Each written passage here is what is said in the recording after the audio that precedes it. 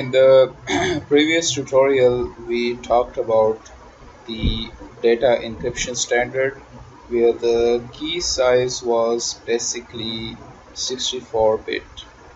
And we talked about that the data encryption standard wasn't that much secure form of encryption mechanism. And the advanced encryption service provider was provided later which basically encrypts the data uh, and this is a 256 bits encryption type and this is the most secure one. Now in this tutorial we will be uh, discussing how we can implement the advanced encryption standard. This is the previous code which we have written and where you have seen that we have first created the object of the DES crypto service provider.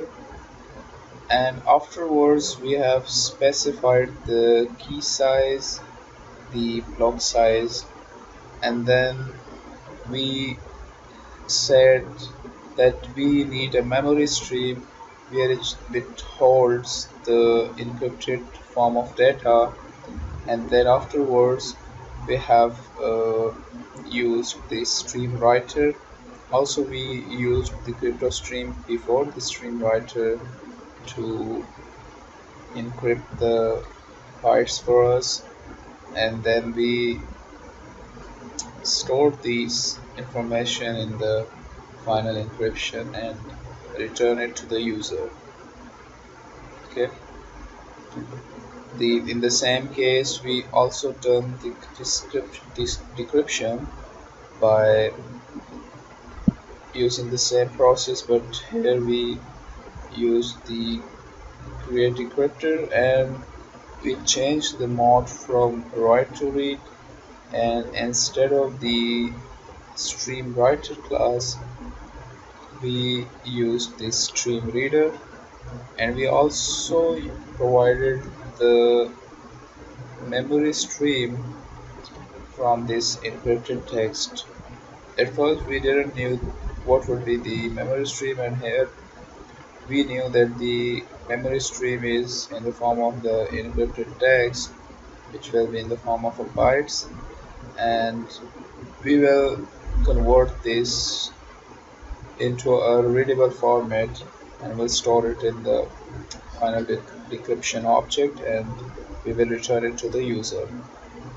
So how we can modify this code to so this code is basically converts to the advanced encryption. So the first thing which I'm going to do here is I will just change uh, the DES to the AES I will just use this process. It will replace this for me. This is the very beginner step here.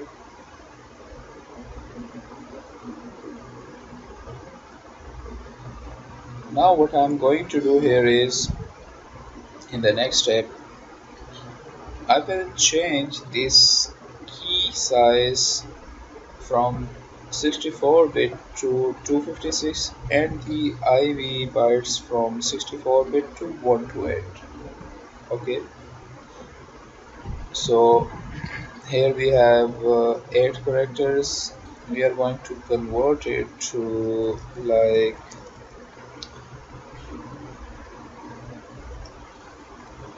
32 and 32 into 8 comes out to be 60 uh, 256 so we will be needing 32 characters. These are 8 I will just copy it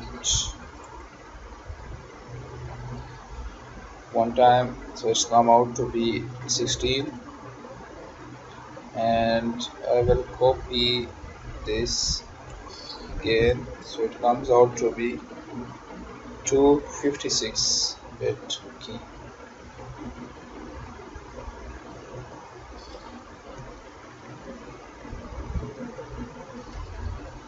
also the IV bytes we will be needing this to to be 128 so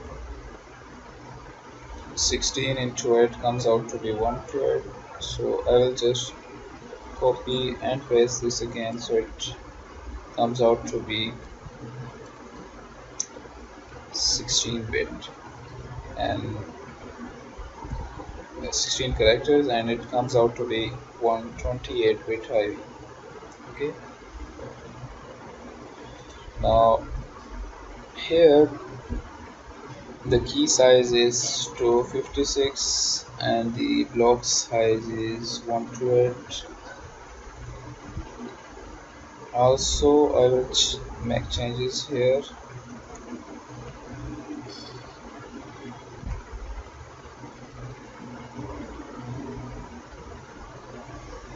And here I will be using the AES crypto service provider copy it and paste it and the rest is the same. Also I will copy this here and I will paste it here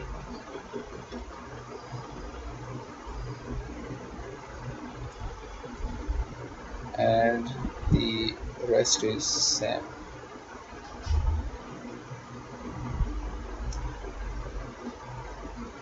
I'll just run it. Let's see if I get some errors. No.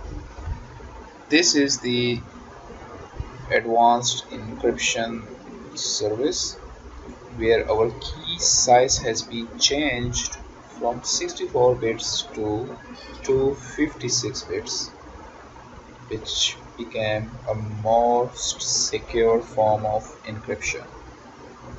As you can see here it has been changed and the strings have been changed and the overall encryption security has been changed as we discussed in the previous tutorial we will discuss about this uh, attack. So they have said that for a 128 bit key there are total of 2 into 128 combinations uh, to attempt to crack the key.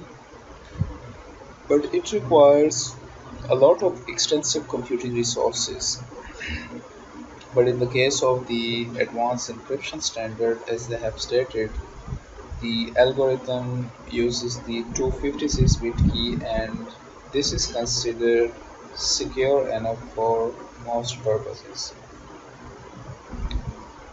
So since uh, nowadays computing power is increasing and it depends upon the key how much it is secure. So it's better to use this 256 bit encryption in your applications. So your application can be made secure. However RSA uh, is a company which states that if you want to uh, secure your ultra sensitive operations you should be using the 2048 bit key so your application which deals with the ultra sensitive operations will be most secure. And they also stated that if you wanted most secure then you can use 4096 bit keys which is I guess these implementations will are not available yet. And most of these implementations are I guess proprietary.